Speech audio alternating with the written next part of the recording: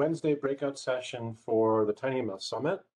My name is Zach Shelby. I'm the co-founder and CEO of Edge Impulse, also a board member at the TinyML Foundation. Um, and I'm here to welcome you to this session about the new TinyML Vision Challenge that we have coming, present what that's all about, how to get involved, what does it mean, um, and then we're going to talk um, a little bit more broadly about low power computer vision. What's happening with the hardware? What's happening with the software? Um, what kind of things can you do with it? And where are the applications moving? To give you a little bit of inspiration for the upcoming challenge. Um, and with me, I have Kwabena, who is the co-founder of OpenMV, which is a really amazing low power computer vision platform. I have one always here on my desk. Oh, you got one of the M7 units. Nice. Yep. Yep. No, it's the H7. Nice. Yeah. um, Kwabena, why don't you just introduce yourself briefly, and then um, before we get started. Hi. Yes, I'm Kwabena. I uh, am the president and co-founder of OpenMV. Uh, we're a uh, two-person company that's been running for about six years now, uh, more or less developing computer vision um, on microcontrollers for the edge. Um, our project first started off as us just randomly writing computer vision algorithms on a Cortex M4, and then uh, you know we have received a large amount of feedback that this was something people were really interested in and intrigued by. And as we've been developing the product, um, we've found more and more that people are really interested in this concept of being able to bring high-level computer vision functions and uh, different algorithms that you would only say you needed Linux and uh, OpenCV to run into more dedicated products. Um, and this kind of enables a new future where we can actually have sensors and uh, cameras being embedded in applications that you wouldn't think about before because you would have always imagined you needed a uh, high power computer um, there in order to perform the uh, the application. So you know, the future of every light switch having a camera to do person detection and being able to turn on when someone walks in the room or et cetera uh, is coming soon. That's great. Thank, thanks for sharing the, the vision vision behind that. I, I, I love how these projects start where you're hacking around on a Cortex M4 with some computer vision ideas, and then that turns into a community, and that community turns into a whole movement of computer vision with real hardware products and software products. We'll come back to those. But I think that's a great a great you know example of the power of the developer community. How we how we have people um, starting things and they grow really organically um, and turn into something meaningful. And that's really what the the, the vision challenge is about for the TinyML um, Foundation as well. We've started this vision challenge to help inspire people to go build more computer vision applications using TinyML techniques um, and go get those applications eventually to market. So I'm just going to share a short slide deck. I won't, I won't bore you all with slides too much about um, this year's new Vision Challenge. Um, so TinyML Vision Challenge 2021. Um, this is a preview. So the challenge is going to be opening up um, on April 15th. We've uh, created and are hosting the challenge together with the Hackster community. So many of you might be familiar with Hackster.io. If you're not, do check it out. Really cool um, platform for sharing articles and projects that you've created on embedded hardware. So if you're creating hardware projects or embedded software projects, this is the place to go tell people about them and get people you know, working with you and starting to collaborate on ideas. Um, they're very good at hosting challenges as well. So we've worked together to put together this tiny ml Vision Challenge. Um, and we'll share a little bit more of a sneak preview of what it's going to be about, help you get your um, ideas going about how to participate.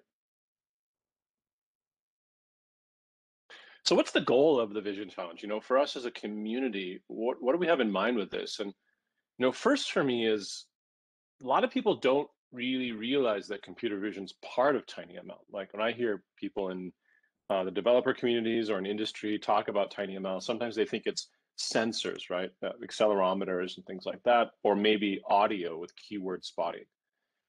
Um, and it's only recently that we started to see more activity on the vision side. But you know, as we've already heard with from from Kwabena about the integration of computer vision and like Cortex M4, it's happening, right? We're seeing a lot of computer vision on small, low power um, targets.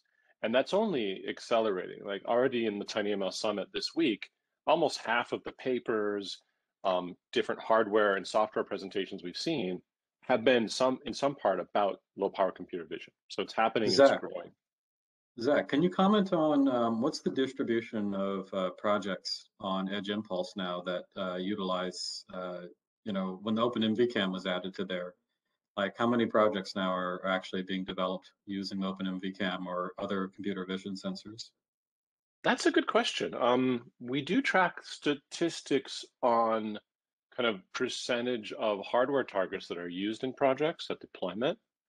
Um, I don't know those off the top of my head, but if I'd have to guess, I'd say that at least 30 or 40% of the projects on Edge Impulse are computer vision related on different targets. OpenMV is one of the most popular ones. Mm-hmm. So we have 16,000 projects today. So we're talking about five, 6,000 projects that are already have been created, you know, using low power computer vision. That's a, that's a really good point. We're, we're seeing this from the community as well.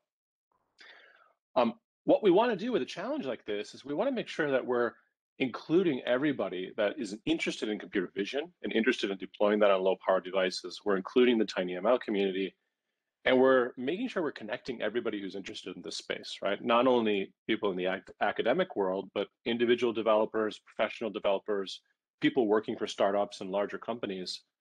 We want everybody, everyone to be part of the same community. Um, so that's the number one goal of the, the Vision Challenge. Um, the second goal is that we have a lot of people in the community that talk about uh, research, talk about the latest, you know, gadget, um, quantization aware training technique. We talk about new architectures for machine learning, computer vision, lots and lots of the technologies, but we don't talk nearly enough about the applications. We're, we kind of have like a, a lack of applications in our community. And I think that's the most inspiring part of this. When people build real things and show us what's possible, those become really important case studies. They become really important examples for others. And eventually they inspire real products. So we've seen a lot of people go from participating in challenges with an idea and turning that into a startup even in some cases. So it's a great way to get people starting on new applications. So, so two, let's showcase the most inspiring new applications of computer vision with TinyML. So two big goals that we have with the challenge. Um, what is it going to take to participate in this? So these challenges um, that we developed together with Hackster are pretty open. Um, you could be an individual developer. You can work in a team. So teams are allowed up to five people. You do need to be 13 or older to be considered a, a participant, or to be younger than that, you need a you need a waiver from from a, a guardian. Um, and what we're looking for are entries that solve in a problem, right? So solve a real problem. It doesn't have to be, you know, rocket science that you're solving. It could be a very um, simple everyday problem, but should have an impact, right? So do something innovative or do something that has impact um, with your application. We are looking for people to implement and demonstrate the solution. So this isn't just like sketch up a mock-up on paper or describe the problem. We want someone to actually implement this, show that it works. It doesn't have to be production ready, but show that the concept works, right? That this is possible on, on the computer vision hardware um, and software tools that you have. And we'll give extra points for great presentation. So the way this works is that if you can, you know, record a video of the solution, right, explain the benefits, make it look really good, that does get you extra points. Um, these projects do get documented. So we do want people to document the whole process, document the hardware design, the software design, share the code that you used with the community. We want people to try to reproduce these projects if they want. So gives people like a tutorial starting point. So so do document the process carefully. And then finally, um, we don't have strict requirements on the exact hardware that you need to use or the exact software framework that you need to use. You could be creative, use anything that's available. Um, in a moment, we'll talk about some of the hardware platforms that are available. We'll hear more about OpenMV. And so you get some ideas for what you might use, but that's not a requirement. The only requirement is this thing should be battery powerable, right? We don't want to have something that needs a heat sink and, and sucks several watts of power. Design something um, that that can be battery operated. And if you can demonstrate low power operation, even better, right? Extra points for doing that. So a lot of flexibility in this. And and the scale of hardware here could be anywhere from like low end Cortex M0 Plus. We've seen people running stuff on like Arduino Nanos, all the way up to Raspberry Pi class devices, as long as you can optimize the power consumption and duty cycle. So you've got a pretty wide range of stuff that you can work with. And then finally, um, some important dates uh, around the challenge. We're going to open up the challenge uh, for people to indicate um, interest, so you can you can register as a participant.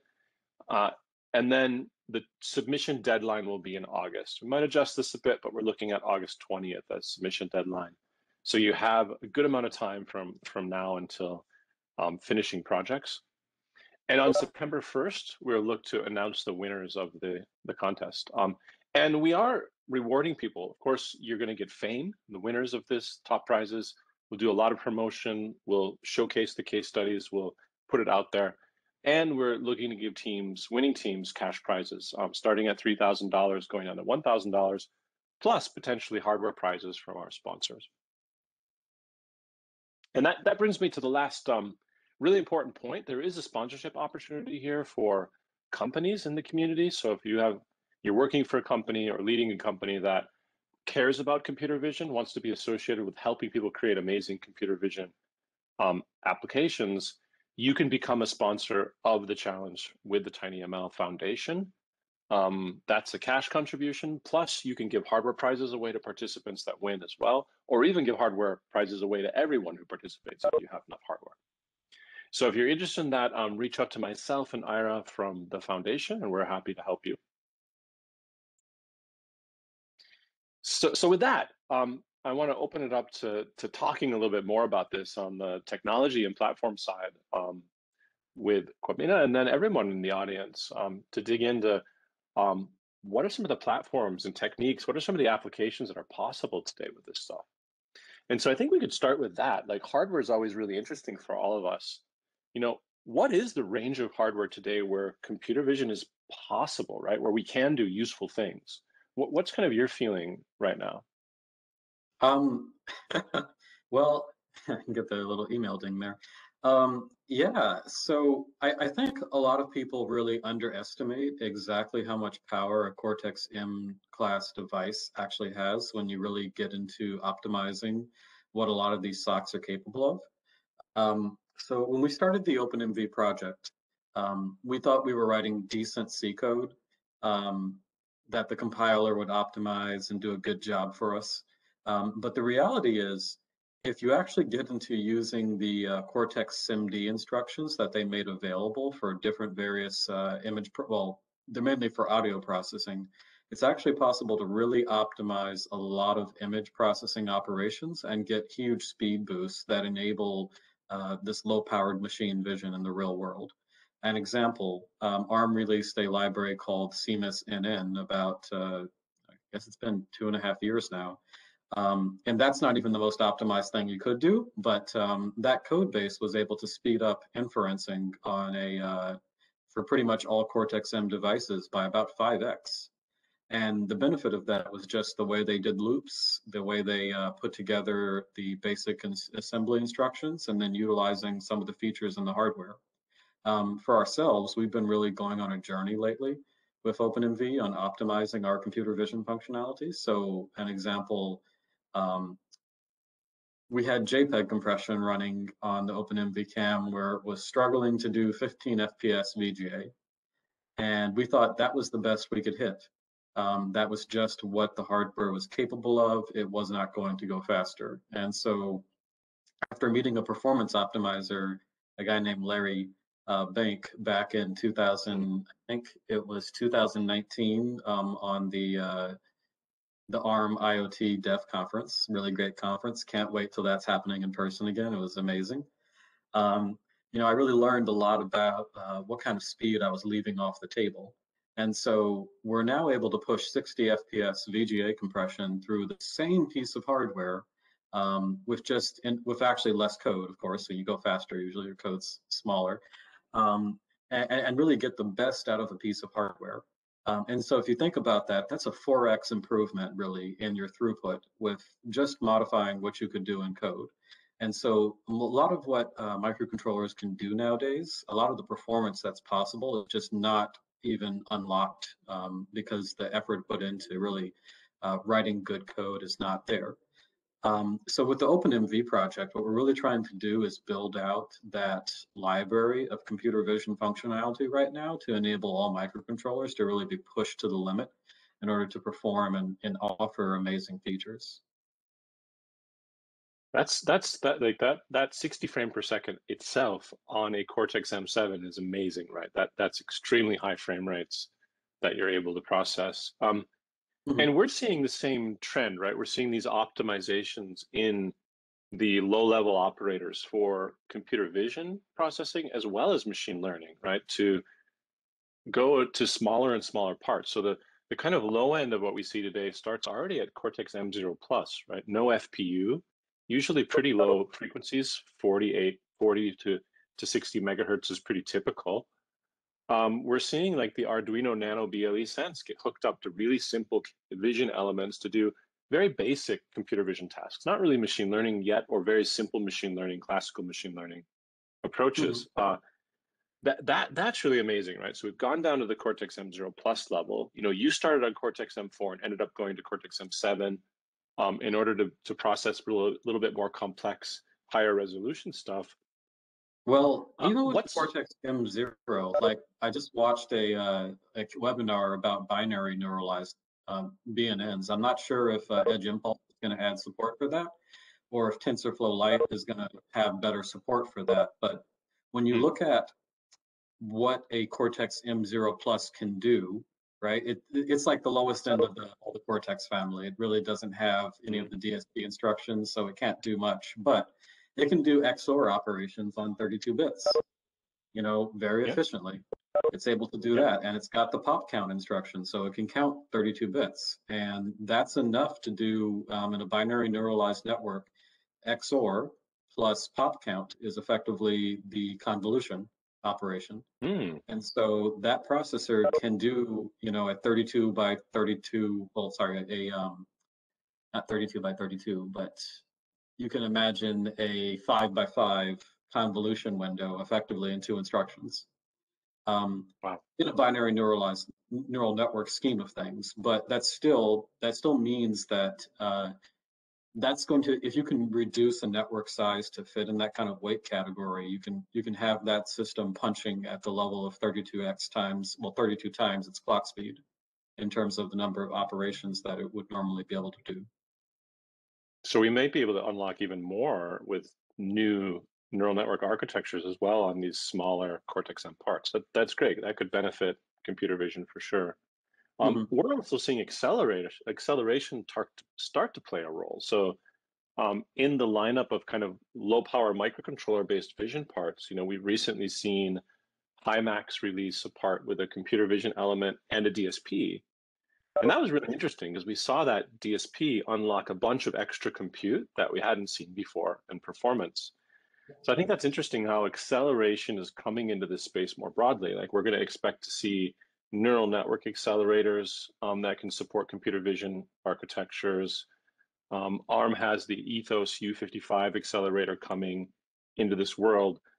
That will probably let us do a little bit more computer vision, right, on the smaller parts, right? Go to slightly more complex um, operations and more complex neural networks.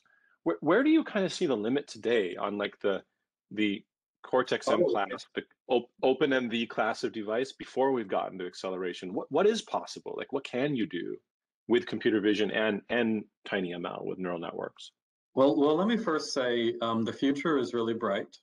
Um, so you have ARM. Well, the ARM Core M55 is coming, you know, very soon, and so we're going to see mm-hmm. that in silicon um, and in mass development, well, mass deployment by 2023.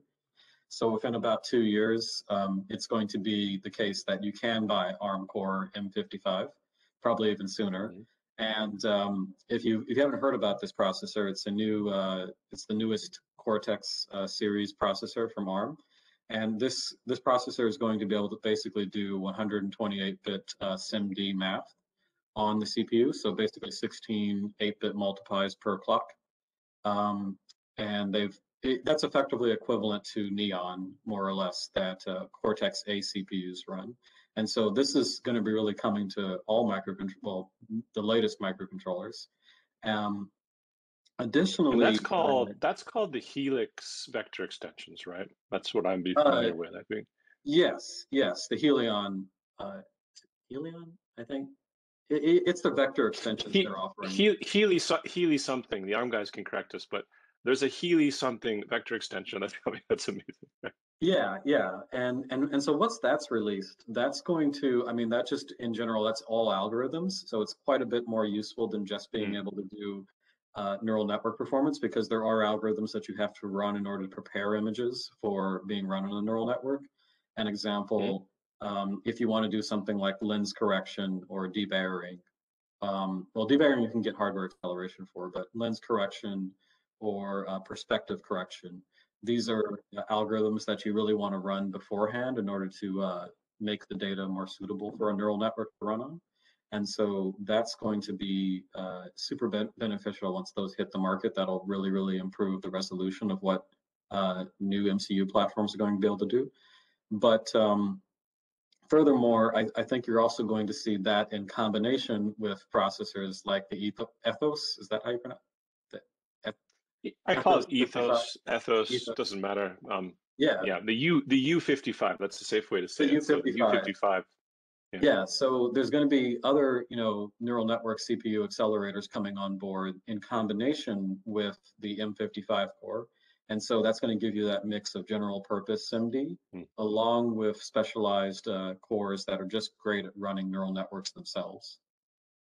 Right. So that could um, maybe, you know, maybe that could push us up into the object detection world of machine learning oh. already in microcontrollers yeah yeah pretty much and that's going to let you more or less the, detect an object and detect a well bounding boxes very easily but actually do real uh, applications where you can localize a object in 3d mm-hmm. space and not just right. draw a bounding box around it but actually know where that bounding box is um, extra question that a lot of people don't look at but it's not particularly useful to have a bounding box on an object if you don't know where that object is.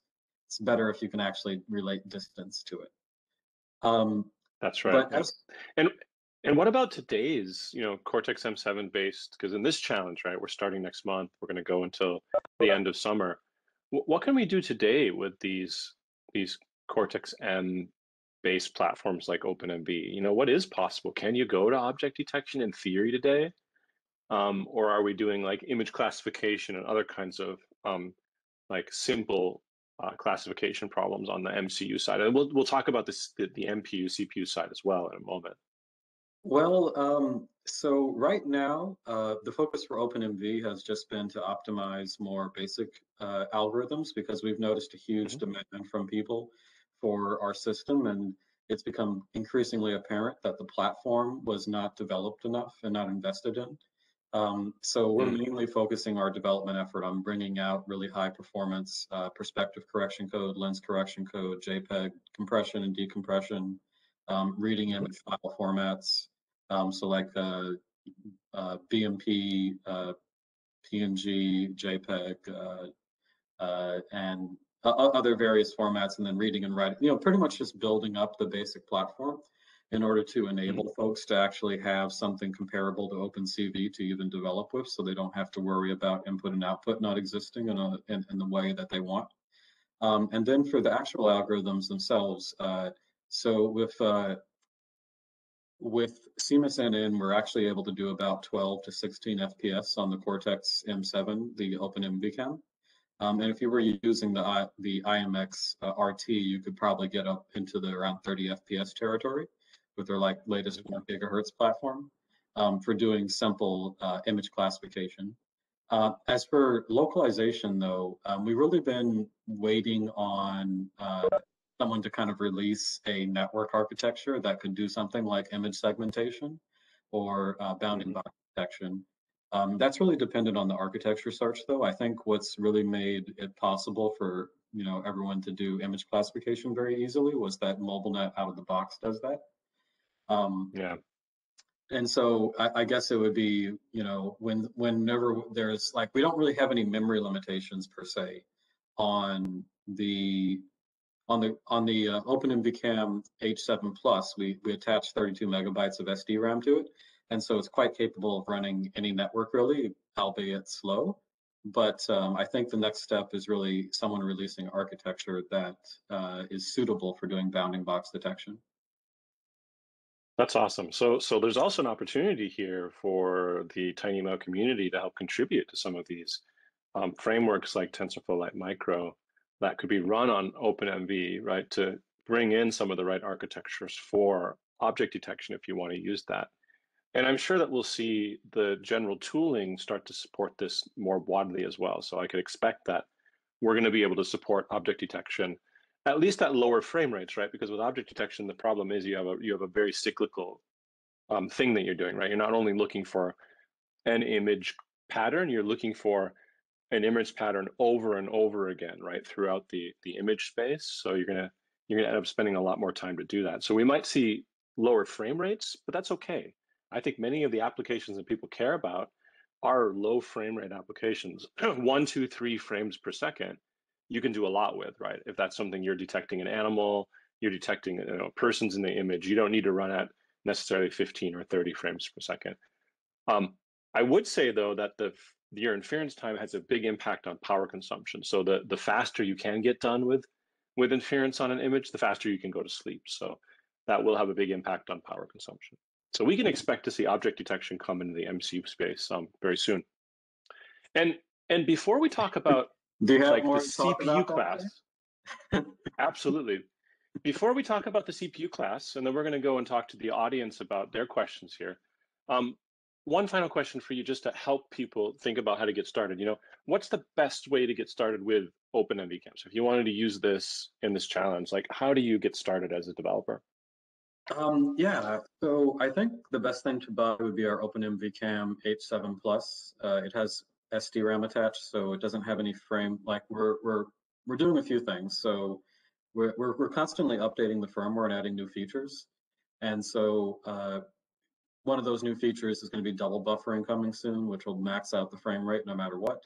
And then also we're going to be put. It also just has more. It has RAM attached, and so this really reduces a lot of the problems people ran into with our current, with our more MCU variants, um, like the H7 normal. And so that's, uh, you know, there are resolution and network size limits when you don't have SDRAM. And while those are, you know, you obviously would like and prefer to have your network run on the internal SRAM of the processor. Uh, it does mean though that you run into situations where uh, you can't even uh, start iterating because your network won't even run at first. You can't even get to the point where you're shrinking it. And so that just makes your life a lot harder. Um, so being able to have that kind of relaxed boundary problem, and then you can start developing, and then you can kind of iterate your, you know, model and kind of make it faster and smaller and et cetera in order to get it to fit on internal SRAM on a product, um, is particularly nice and easier to deal with. Um, That's great. And yeah, I mean, documentation and support has been out for a year um, with Edge Impulse on that platform. Um, Raspberry Pi also is another thing you can choose to go with. Uh, that's a little bit higher power though.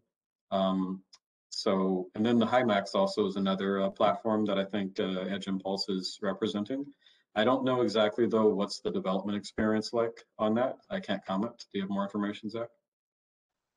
It's just the basic um, image capture um, ML algorithm deployment cycle. There isn't like a uh, uh, an OpenCV style image pre-processing um, phase there that's automated. So it's a little bit different but it just focuses on the ML side. And I, I think you'll see that with a lot of these image platforms. So you named a couple, but I think we should talk about that briefly before we go into questions. There are a lot of different platforms out there you can get started with. So we've talked about OpenMVCam, we've talked about HiMax's development board. Um, we have platforms from, from Arduino, both on the Nano BLE with a little camera that's attachable, as well as the new Arduino Portenta has a vision shield that you can work with that's also OpenMV compatible. Um, we've seen uh, new image platforms from Qualcomm, for example. I see you have Jenny on the call. Don't know if we can get those in the hands of developers for the challenge, but we might work on that.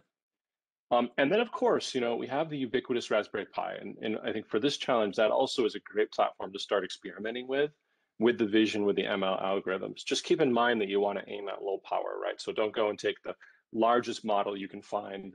Try to do something that is really highly optimized so you can increase your sleep cycles, and that will let you put a Raspberry Pi into a lower power application.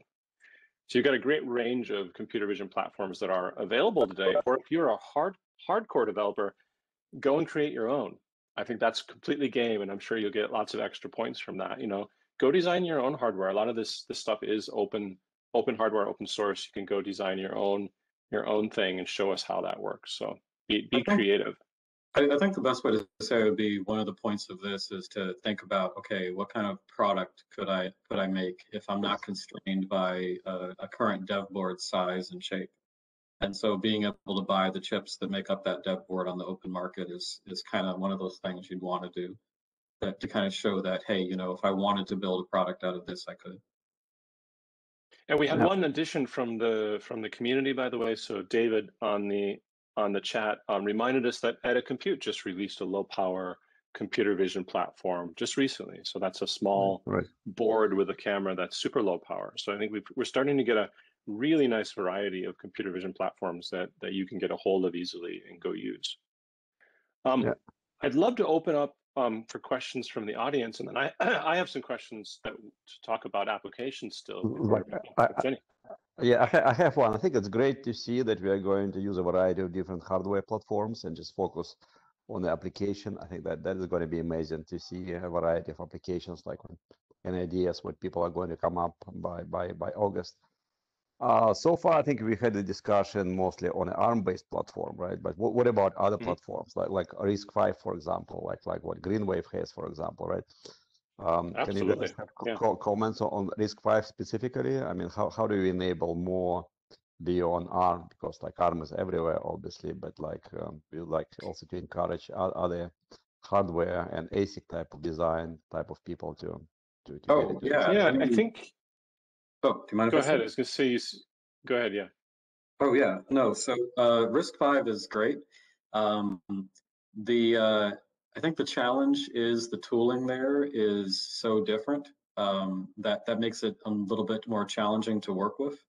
Uh, I think TensorFlow uh, has been has is TensorFlow running on uh, on RISC-V now for like for microcontrollers.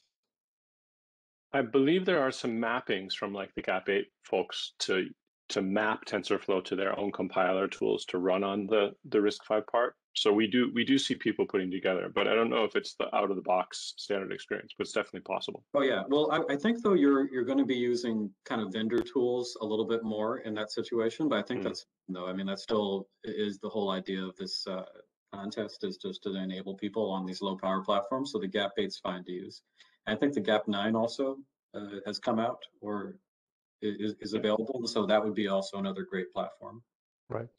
We're also seeing a lot of people in the community use ESP32s. So ESP32 is a perfectly fine platform for um, machine learning workloads. But again, you've got to do some kind of manual optimizations for the operators because they don't take use make use of the standard acceleration libraries. So it may be a bit of extra work to do but ESP32 is a, a solid platform for computer vision. Um, and I think we're going to continue to see that variety in the architectures. I don't think it really matters so much what MCU it is, what MCU architecture. I think it's more about getting together the software tools that you can use TinyML to to to deploy on that device. That's yeah. that's going to be the, the the the challenge, and you're going to be able to buy lots of different platforms that do that. And, you know, one example is, of course, SparkFun carries a lot of these different computer vision platforms. So SparkFun's a great place to look for these things. Also, Seeed Studio has a ton. So if you look at Seeed Studio, a huge range of different computer vision platforms, like 10 more than we've even mentioned for all kinds of applications. So you might find something interesting there. Yeah, the the trick is though this is a competition, so the goal is to develop your idea, not the library. So that's the one problem you'll have. Good point. Yeah. Make sure you focus some time on solving your application too, not just hacking up the hardware. So try to start with something that's pretty proven and, and works. I think that would be good advice. Um, and then focus your energy on building a great application. Show us what's possible. So- Any so, other like- questions from? So, Go ahead. like, I, I- have one more. So just a clarification type of question on a, on a age. I think if I understood it correctly, you talk like people have to be 18 and older to submit? 13 or older. Oh, They 30 have to okay, be considered yeah. adults in the U.S. Yeah, 13 or older. But but actually, we've had um we've had in previous challenges I've seen, we've had younger children enter with their parent. So we've actually Right. seen like on a previous competition, somebody made a snore detector with for neosensory, and that was like a 11 or 12 year old boy with his father. They were the team. So it is possible to have someone younger. You just need to sign Yeah. a waiver. And No, that, permission. that, that's great because I was I, I was about to defend the youngsters just to make sure we're not excluding them because there are there is so much interest uh, in the tiny ML in high school and the K twelve type of people. Oh, yeah. Just I, I think I'm sure they fair game. with, with with great ideas. Yep. Yeah, I'm already seeing 14 and 15 year olds who are better engineers than I am these days, but that's what happens when you become a CEO. You lose all your skills. So yeah, we, we definitely want to encourage the, the high school age um, um, up and coming hackers to get involved and they, they build incredible applications. So so yeah, we Right. should we should make sure to promote that in that way. And I think we are going to probably cross promote it through the educational channel because, as you know, we are kicking off uh, in addition to the Tiny ML for Good and the, this uh, Mhm. um, challenge, Vision Challenge. We are starting uh, Tiny ML educational program, so connecting all the way to the K-12 folks. So I think we'll definitely cross cross promote it there as well. Yep, yep, perfect. Um, any other questions from the audience? You can put yourself off of mute and speak up to ask a question, or you can or you can go into the chat and we can pick it up from there.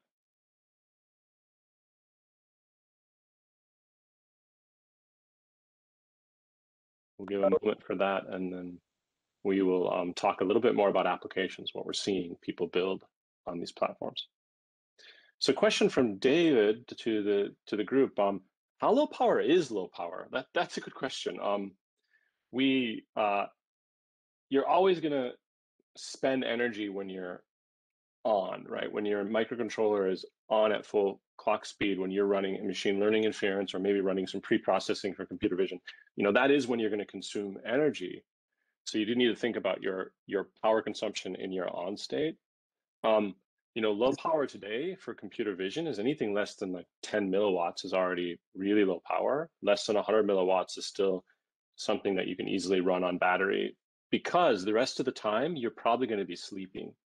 So don't don't think of computer vision as that you're on absolutely all the time. You can you can build applications which duty cycle. Maybe take a frame, work on it, go back to sleep. So you need to look at both your on power consumption and your off. For this challenge, we try to keep this pretty flexible. So our requirement is this needs to be able to run on a battery, a reasonable battery. And I don't mean a car battery. I mean something that's portable. Make this something that can actually be deployed out there on a reasonably sized battery. So it gives you a lot of flexibility. Um, and we don't expect people to be done with their final optimizations, right? Do do the optimization you can, and then tell us what you built. And Zach, just to add to this, definitely power depends on on the frame rates, right? You can run it at one frame Mhm. rates, 10 or 100. But I Yep. think the, the, the key here, we are focusing on, on the application and some application may require duty cycle, like let's say retail type of environment. You, you take an Mhm. image like once an hour, right? Or the other one, be. like mo- mo- motion type of applications, you need to run it at 10 frames per second. I think it's probably the key to make sure, like like you said earlier, to enable this battery operated vision uh, at application specific, whatever this particular application requires, right? To to to, to make it Sure. functional, practical. And and battery has to be like a coin coin cell battery, not So, like, so I would like your car, your car Oh, battery. I I would say it's like this. It's really just, you know, are you using a platform where the concept of sleeping, you know, and waking up in less than a second is normal? That's really what I would say. So the, the problem with a Raspberry Pi isn't that it can't, it doesn't classify as low power so much. Um, the problem would be that it's kind of like if I wanted to deploy this as a sensor embedded in some kind of low power application, there's I don't really have the ability to uh, minimize the size of the system because I'm constrained to a particular board shape I have to buy, and then I'm not able to really Mm. uh, turn this thing off in any way, shape, or form. um, that demonstrates that I could build a product that would be low power. I don't really have those controls. I think that's a good point, right? You're going to limit yourself a little bit if you go into these larger platforms. Um, and it's a lot harder to implement a low power sleep cycle, wake up cycle on Linux compared to what you can do with an RTOS um, on a microcontroller. So that, that also is going to limit what you can do with low power. But for the purpose of the applications in this challenge, what we're really looking for is people to show us that applications can be built low power. We don't have to necessarily show the lowest power consumption possible, but explain, show, design how that could be deployed as low power. And I think that already goes um, a long way. So we have another question from the audience. Um, will there be sponsored hardware that people can apply for? Um, not yet. However, um, depending on the sponsors that come on board, we may be able to offer some sponsored hardware. I saw a Sad Face already. All right, people love Um, hardware. We may be able to offer some sponsored hardware as part of the challenge, but that's going to depend on sponsors. So if you want your favorite sponsor to come on board, go give them a push. Tell them that hey, they need to be on on top of this vision challenge and and um, OpenMV will be available to offer sponsored hardware for anyone who can demonstrate they app applied to the program, um, well, is competing in the competition and wants to use an OpenMV cam, we can make that available.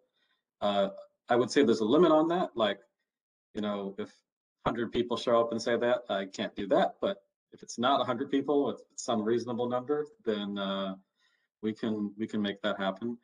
Um, and We'll also have some more interesting hardware coming out later this year during the competition that'll allow some people to do some pretty cool stuff. Uh, Nice. the only thing I would say is that there is a chip shortage right now happening, so hardware development on platforms is a getting new things on the market is particularly challenging. um, that's an aside. So if you can find if you can find some computer vision hardware, get it right now because it might not be available later. But but yeah, yeah. super super generous offer from OpenMV. So we're gonna we are gonna see possibility to apply for some OpenMV hardware up to a limited number for people who are um, using it in the challenge. So we'll we'll we'll see how to to take care of that application process and and let you um, go through those to choose the best the best applications. So already getting a little bit of free hardware. That's awesome. Um, any other questions that people have? And then we want to talk a little bit about applications before we're out of time here. And, and if somebody wants to start with applications, some of the applications that they are seeing people build with computer vision, we'd love to hear that because we want to already get the thoughts going for people, what they want to work on, what might be possible.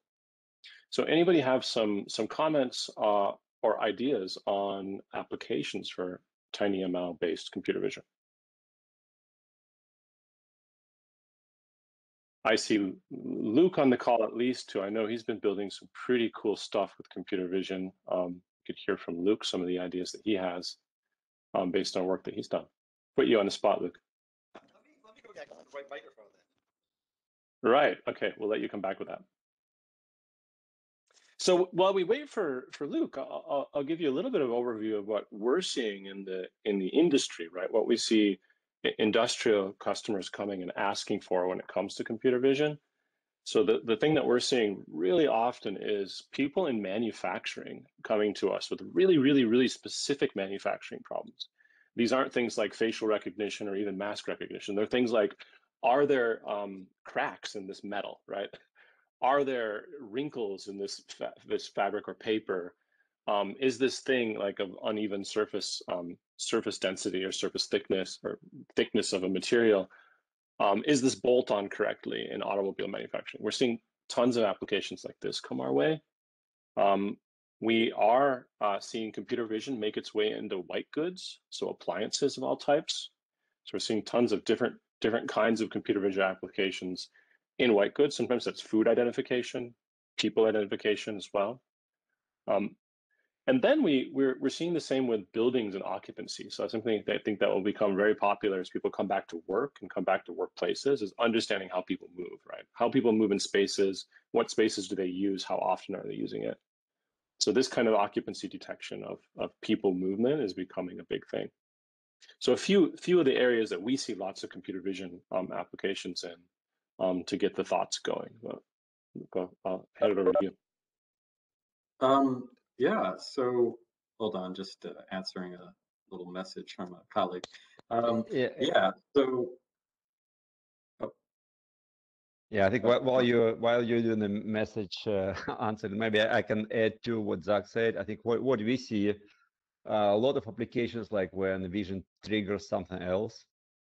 That's kind of one broad category. Uh, uh, anomaly detection. Let, let's say uh, you have uh, some I don't know. All of a sudden, uh, you're in a big city and something happens, and then people are going to run in one direction or in a different direction, right? So th- th- th- th- this kind of thing. So it's anomaly detection. A lot of things in the retail logistics space. I think, and one probably one of my favorite is like what we discussed at the Tiny ML for Good yesterday is in in the wildlife conservation, animal control, um, agriculture, this kind of things. I think tons of opportunities for vision in in in these areas for for for, for good areas.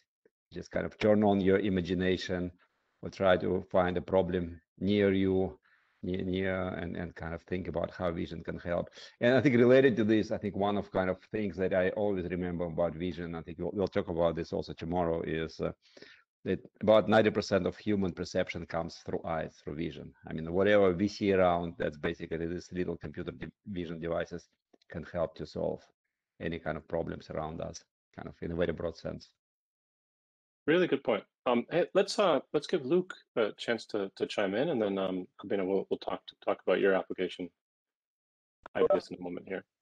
Yeah, uh, one really sort of basic use case we're looking at is simply having it be a vision wake up system. So, um, you know, before you go power on, you know, your your Raspberry Pi or something that might take a bit longer at the Coral Accelerator, you know, being able to have a very low power system that has a, con- a much higher duty cycle um, so we can constantly see like, is there a person or a vehicle in this space? And then power up something that has more compute to say what type of vehicle is in the space. Is it the trash truck that's finally coming through to pick up my garbage? Um, and then you know do those sort of analytics and have it go back to sleep. So you know just ways you can use uh, you know different different qualities uh, so you can extend battery life and have things last longer. So two two stage visual wake words, then going into a more complex um, more complex uh, classification process, for example. Yeah, Yeah. interesting. Oh. Interesting.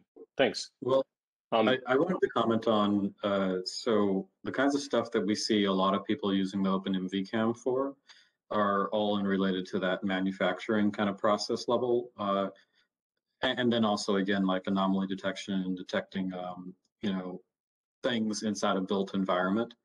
Uh, these are these are applications that so like uh, you know here's a, one of the most trivial examples but very straightforward.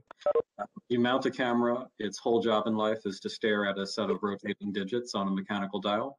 And what it does is it digitizes mechanical digits into a uh, by, into a numeric string, and then it will uh, basically text that string out over a um, a LoRa serial port and report, um, you know, in a wide area network that information back to a host system. And so the way this works is the, you know, the OpenMV cam, for example, would wake up every 15 minutes. So when we're talking about power cycling, that's kind of what I mean. Like it's asleep for 15 minutes at a time. It wakes up and proceeds to capture an image um, with good contrast and good quality. Um, it then runs a neural network. Uh, so with the OpenMVCam library, at least, you're allowed to select an ROI of the image and, and then run the neural network on that ROI. And so uh, it already knows where each digit is located in the image because it's a fixed system, right? And so the camera turns on, uh, you do some basic lens correction to make sure everything's nice and straight looking. Um, and then you proceed to capture an ROI of a particular area where a number is, and then you have a numeric, a neural network is just doing uh, uh, basically numeric classification of each number. And so you say, okay, what number is this here? Is it a zero through nine? Zero through nine, zero through nine, zero through nine, zero through nine. And after you do that, then you build up a text string and boom, you've read out the value of a mechanical digit uh, meter and you can send that through a serial port and then you go back to sleep. And so that whole process of recognizing it takes less than you know, 500 milliseconds, and the camera's back to sleep again, drawing, you know, about 10 milliamperes or less of power. Amazing. That's a great example of a of a really simple application. Sounds simple, but has really meaningful meaningful use. Mm-hmm. Um, we have a few comments on the on the chat as well. So um, animal tracking using a trail cam. I think that's a great example. Um, in nature conservation, we see lots and lots of applications for camera traps. Um, a project we've been involved with recently, you might have um, read in the BBC about uh, zoos in the UK collecting 30,000 thermal elephant images. So using a thermal thermal camera, um, looking at different different angles of elephant um, imagery with the thermal camera, and using that to develop um, tiny machine learning uh, applications for identifying elephants um, in the wild. And that's an application we've actually worked on to make use of that imagery on low power platforms. So these kind of like an animal um, identification using TinyML and Vision, I think is a great application area. Um, another well, application also, that, um. Well, well, it's also, it's just like false positive redu reduction. So a great example would be um, before the kind, of, the kind of rise of ML in the world, um, if you, for example, if you want to do like a, a camera trap, you can buy these cameras for like a hundred dollars that come in a super robust packaging and they have a motion detector sensor. And whenever any motion is detected, they capture a whole bunch of images.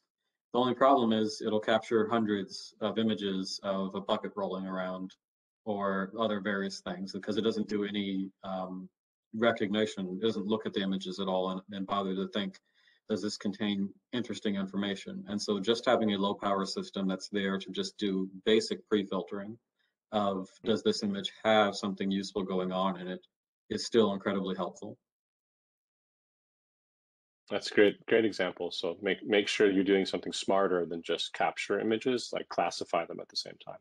I mean, there's a huge, huge thing, huge amount of things that you can do in in nature conservation and all kinds of other applications, like opening the door for your pets. Um, you know, identifying when somebody's walk, walking somewhere and and and is that a person, and we want to do something, um, automate some, something for that person.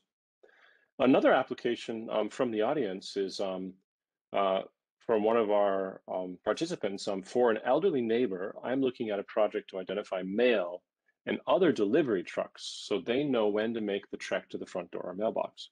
Um, this person has um, difficulty hearing. They don't usually hear the doorbell. But that's a great example of something that can actually change someone's life when they're hearing impaired is identifying, you know, who's there. And of course, we have things like the ring doorbell that does this in a very generic way. Is there someone in front of your doorbell?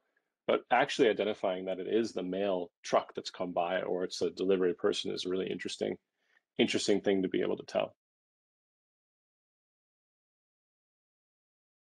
Great. Any other final ideas or, or things they want to bring up as areas of application for everyone? We're, we're getting people's thoughts going here for the TinyML Challenge. Um, think about what they want to work on and we're happy to have people share um, what they have in mind or, or really cool applications that they areas that they um, they've seen or have been thinking about. So I, I think uh, Zach, that's me again. I, I think uh, two more broad areas. I think uh, one area I think it was mentioned like elderly care and medical care in, in general. Uh, and, and, the other one is I think we know that compared to regular computer vision for tiny ML vision, privacy is a big deal. It actually enables privacy. So um, maybe some applications where, where privacy is the key. Basically, like you mentioned earlier, there's this uh, track for, for blind people. Basically, when computer vision augments people's vision without kind of taking images because of the mm-hmm. of the privacy issues.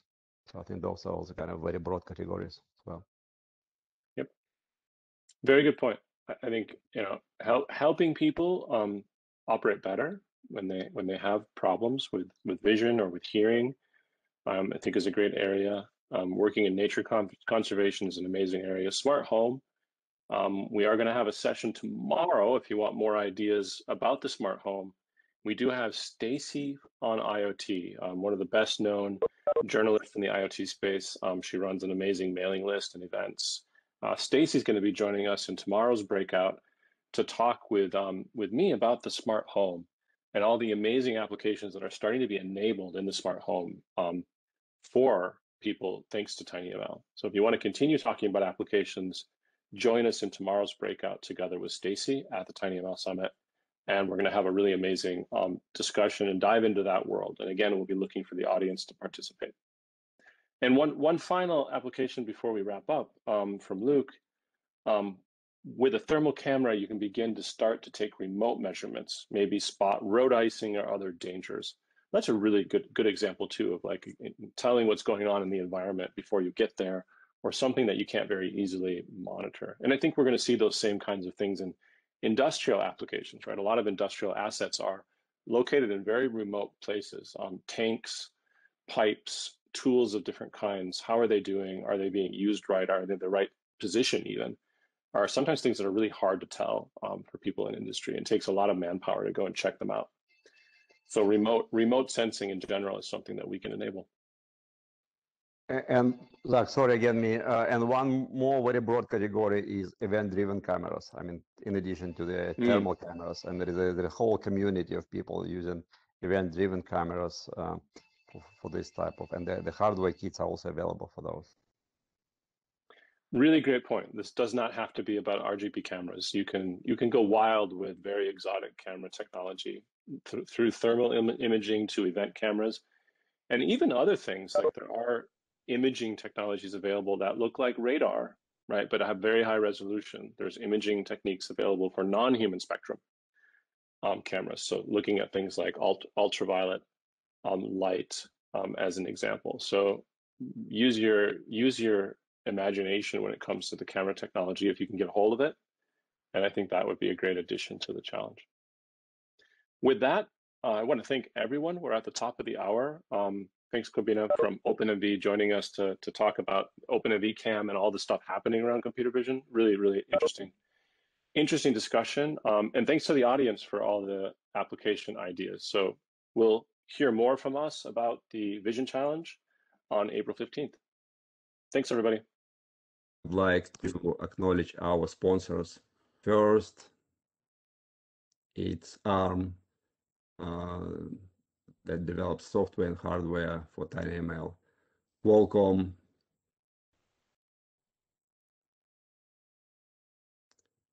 Samsung, these three are the executive, executive sponsors. And, and then followed by platinum sponsors, ETA Compute, Lattice semiconductors,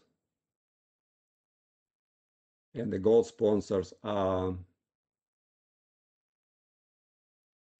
BrainChip Corporation, Cisco, DSP Group, Edge Impulse, Emza Visual Sense, GrAI Matter Labs, uh, GreenWaves Technologies, Himax,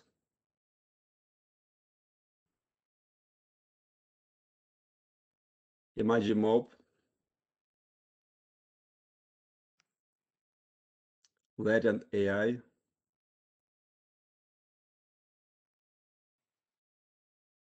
Maxim integrated,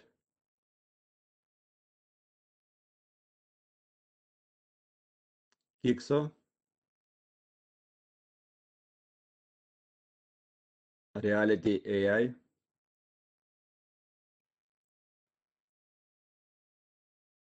SensiML,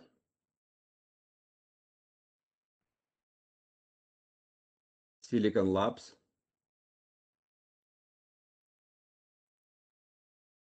Syntiant, and Google TensorFlow. XMOS, and the silver sponsors are H-Cortex, HOTS, and uh, SynSense. Again, we are very grateful for their continued support, and this is a great testimony that uh, the foundation and this community is, is really of, huge interest for for the companies and and, and for the whole uh, for the whole world.